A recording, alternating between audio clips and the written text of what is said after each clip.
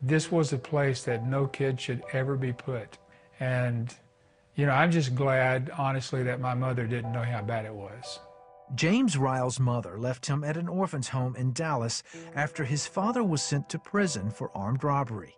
James was only six years old. There were a lot of angry people that worked out there, and there was a lot of uh, very disturbing abuse that took place on their watch and by their hands. The most cruel method of punishment was a ritual called the belt line. The belt line was when all the boys in the dormitory lined up on the hallway and you had to lower your pants to your ankles so you couldn't take large steps and you couldn't run. You had to kind of shuffle down the hall while they hit you with belts.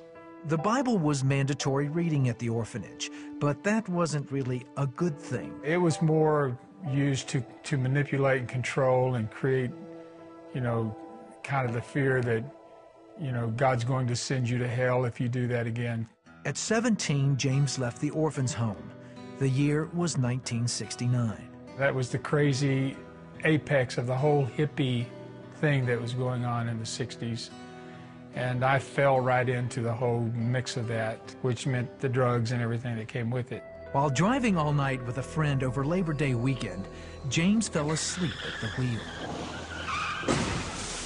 James wasn't hurt in the crash, but his friend died instantly.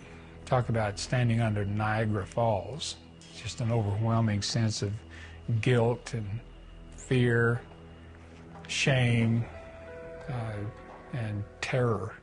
James was arrested and charged with negligent homicide. He was desperate to get out of trouble, so he started selling drugs to raise money to hire a lawyer. Within two months, he was arrested for sales and possession of marijuana. He faced the possibility of up to 20 years behind bars. As he sat in the Dallas County Jail awaiting trial, James remembered a Bible verse from his days at the orphanage. The verse was Romans 8:28, for we know that all things work together for good to those who love God and are called according to his purpose. And I realized God was saying, look, you can keep doing this your way or you can do it my way. Your way, you got what you got. My way, I can work this out in such a way that it will astonish you. So it was one of those, you know, no brainer choices. and so I remember saying, look, okay, I don't have, here's what's left of my life. You can have it. A few days later, a public defender met with James.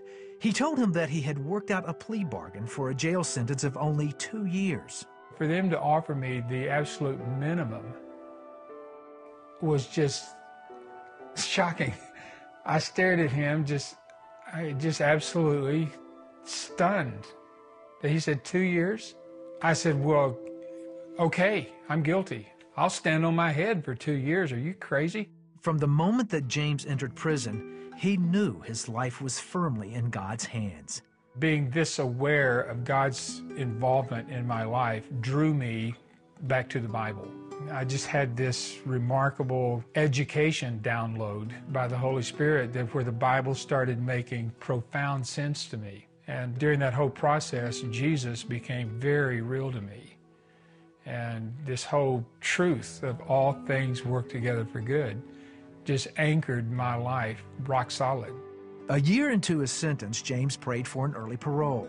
He opened his Bible and read these words in the New Testament Go home to your friends and tell them what great things the Lord has done for you. When I read that, I knew two things. Number one, I'm getting out, and number two, I'm supposed to tell people what the Lord has done. I have no power to make this happen, so all I can do is wait and see. James didn't have to wait long.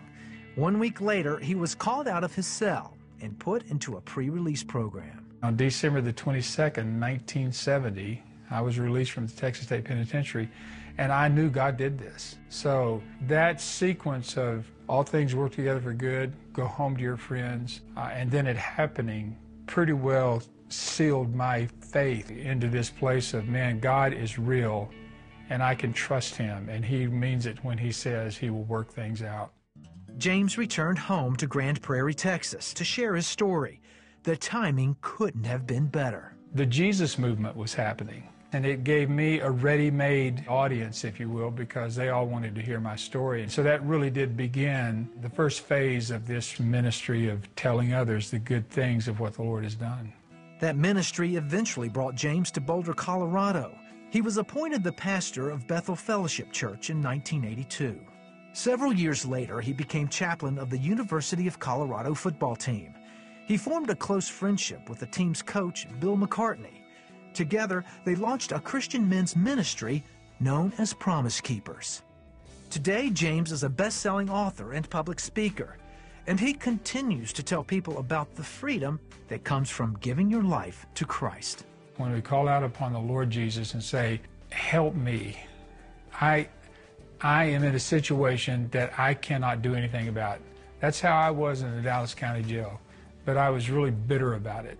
And even in my bitterness, he bypassed all that. And he spoke to me and said, I'll work this out if you will hand your life over to me. I did, and he did. You can trust the Lord, and he will do his work in your life, and you will be so glad that he did.